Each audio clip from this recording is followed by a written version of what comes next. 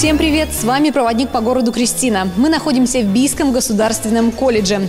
Накануне здесь открыли мастерские по пяти компетенциям. Теперь студенты колледжа смогут получать практические навыки в современных условиях. Ну что, давайте начнем нашу экскурсию и узнаем, чему же здесь можно научиться.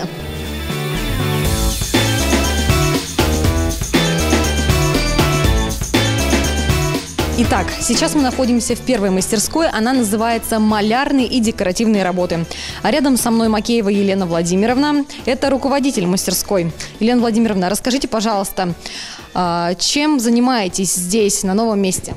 Ну, мастерская только открыта. Мы планируем здесь проводить соревнования по а, World Skills – это соответствие молодые профессионалы конкурс в соответствии с мировыми стандартами. А также здесь мы будем проводить различные мастер-классы, на которых можно научиться декоративным работам, допустим, какой-то декоративной отделки поверхностей стен а, с использованием штукатурных смесей и различных окрасочных составов.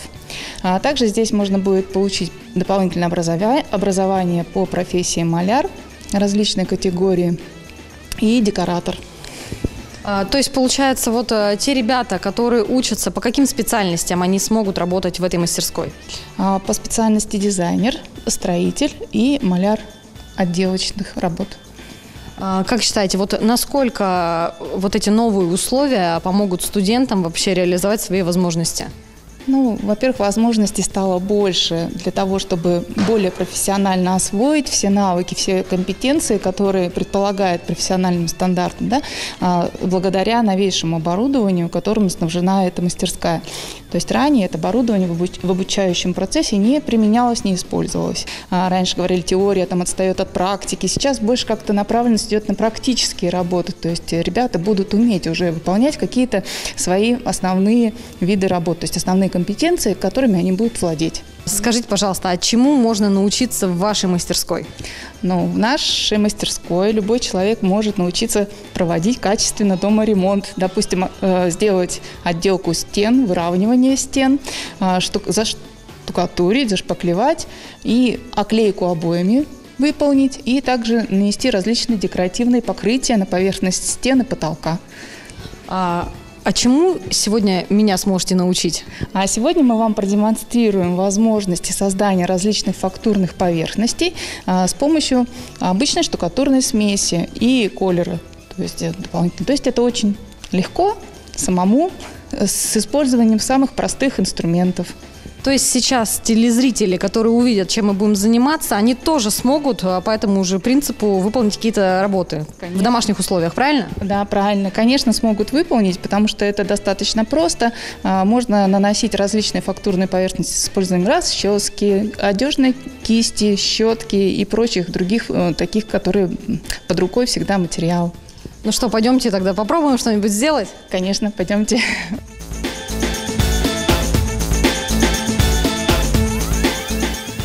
Мастер-класс у нас называется «Нанесение фактурной штукатурки на поверхность».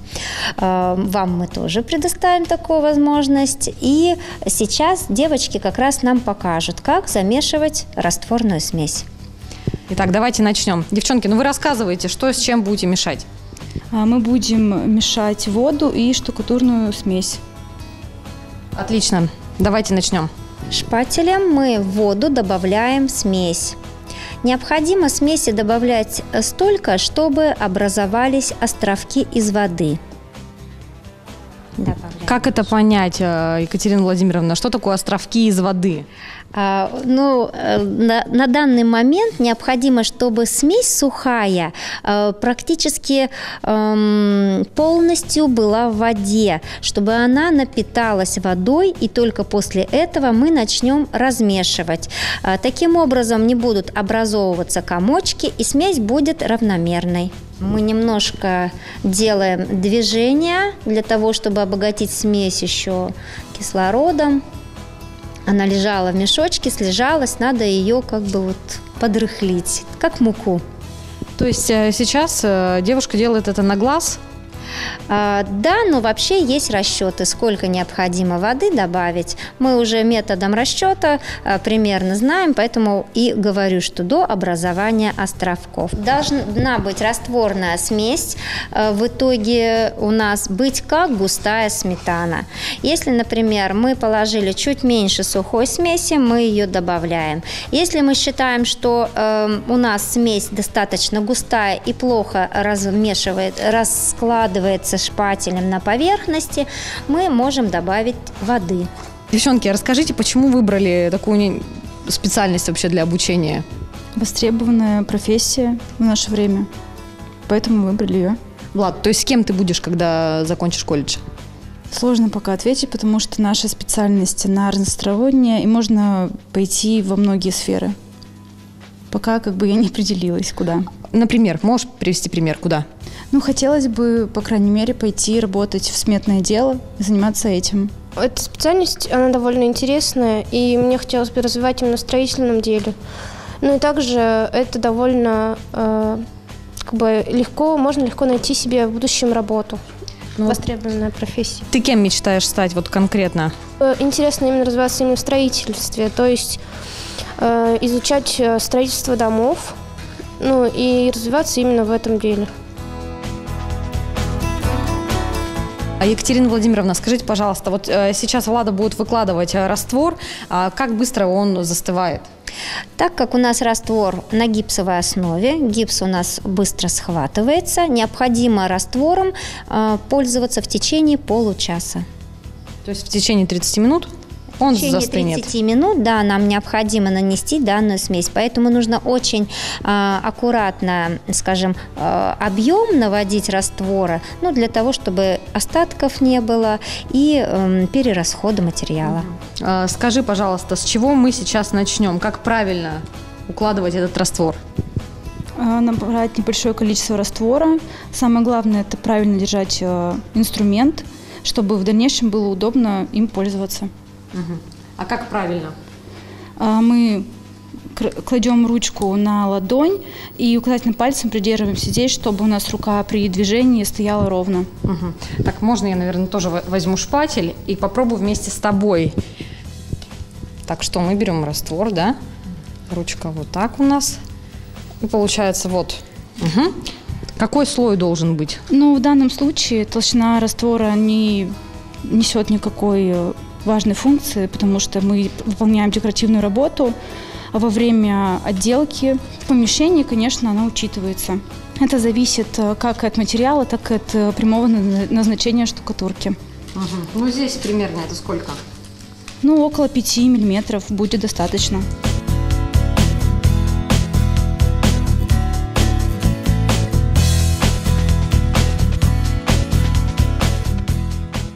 Итак, а мы нанесли слой штукатурки, правильно? Я это а, назвала ну, или не очень? Э, вы назвали правильно, но вы уже во время нанесения придали ему некую фактуру. Давайте с вами немножечко все-таки разровняем, чтобы нам показать э, телезрителям, что мы можем с поверхностью сделать. То есть это можно либо широким шпателем взять за один раз провести, вот Влада у нас делает. То есть изначально у нас э, должно получиться все идеально ровно? Ну, не совсем идеально ровно, но максимально. То есть если у вас есть какой-либо уже придуманный узор, или вам необходимо повторить то, что, например, дизайнер э, нарисовал, то, конечно, поверхность должна быть более-менее гладкой. Ну, вот, Сейчас Влада, да. получается, разровняла, да? А теперь да. что мы будем делать? А теперь при помощи обычных, того же, кстати, инструмента, шпателя, э, лопатки, можно можно э, придать фактуру на отрыв, например. Вы тоже можете использовать. То есть да. Прижим, вот так, да? Прижимаем всей поверхностью. Вот так? Да. И вот у нас такие получаются фактурные уже э, рисунки на поверхности. То есть методом бы, на отрыв. Мы это делаем как бы в таком в хаотичном порядке, да? Да, да, конечно. Но тем не менее у нас получился вот такой своеобразный да, рисунок, на что да? похоже? Например, на э, какую-то там Волны, да, да вот мне тоже, поверхность кстати, волны моря, напомнила. да. И второй метод тоже можно сейчас подровнять поверхность, чтобы телезрители увидели а, другую, другое нанесение при помощи другого инструмента. И возьмем обычную, уже одежную щетку. Да, щетка. Вот простая щетка, да, у нас Да, в руках да, сейчас. да. Так, ей мы как? Вводить нужно или Э, что делать? Смотрите, ну, можно придать, например, круговые уже какие-то фактуры, Ага. да, То есть там вот соответственно. смотря что, да? Да. Вот. На облака уже будет достаточно похожа фактура. А еще как мы можем, например, этой щеткой делать? А еще можете просто провести, например, вертикальные или горизонтальные по- полосы в зависимости от того, какая у нас поверхность. То есть вот мы видим, да? Да. Мы можем разную совершенно картинку придать. Так, Иван, Естественно, где-то можно подровнять. А, итак, вот с помощью обычной щетки, да, это щетка для обуви или, ну, для стирки, Для да? стирки, да. С помощью обычной щетки мы можем сделать дома ремонт. Например, задекорировать какую-то поверхность. Вот чем мы Балкон, сейчас и да, занимаемся. балкон или, может быть, междверное пространство можно таким образом задекорировать. Часто же у нас э, двери новые ставят или, например, откосы, а не хотим мы пластик устанавливать. И можно таким образом при помощи э, декоративной штукатурки э, себе улучшить качественные показатели интерьера.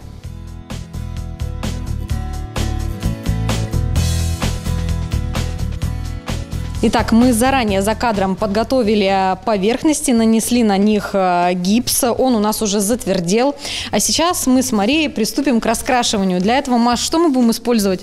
Вот такую простую губку, представьте, которой мы моем посуду. Вот она нам поможет сейчас в том, чтобы нанести красивый э, рисунок. То есть мы будем что делать?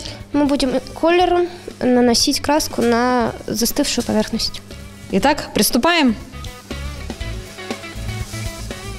Можно было заранее нарисовать какой-то рисунок, но вот у меня просто вот такая поверхность, и я хочу типа как градиент попробовать сделать. Ну, не знаю, конечно, получится у меня это или нет. А ты что будешь делать, Маша? Расскажи. Меня готовый рисунок. Это дерево. Я покрываю его красками, ну, зеленая это листва, ствол и а, поверхность, которая окружает дерево.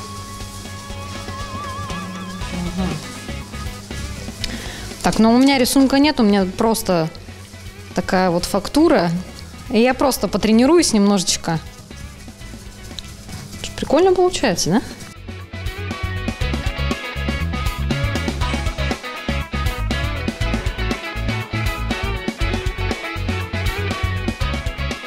Я уже поняла, что задуманное у меня не получится. Приходите к нам еще. Вот, но я просто попробую вот такие переходы сделать цветовые. На самом деле э, работа очень интересная. Можно даже закрашивать э, и чуть-чуть оставляя, скажем, вот поверхность гипса.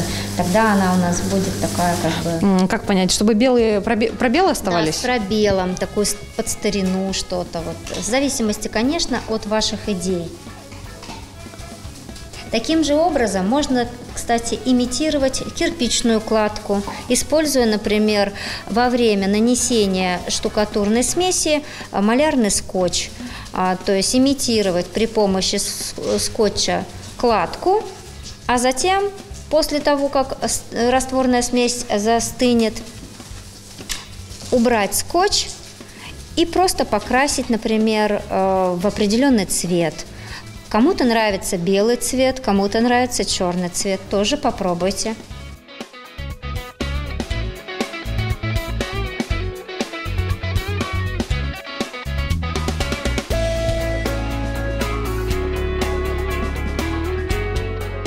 Ну, на самом деле, то, э, чем сейчас мы занимаемся, это достаточно трудоемкий процесс. Для того, чтобы изобразить какое-то красивое изображение, нужно потратить э, приличное количество времени, да. Я вот просто сегодня попробовала э, поработать с цветом и поработать с самой фактурой. А заранее студенты колледжа э, уже сделали, да, вот такие работы. Расскажите о них. Ну вот э, также работа Мария при подготовке к данному мастер-классу. Также вы можете наблюдать, например, э, фактурное нанесение щеткой горизонтальные полосы. При помощи шпателя она при- придавала э, форму стволу и при помощи губки э, листву. Э, Видите, на, одном, э, на одной поверхности у нас сочетаются несколько фактурных нанесений. Итак, ну а это у нас был мастер-класс по малярно-декоративным работам. Ну а мы идем дальше.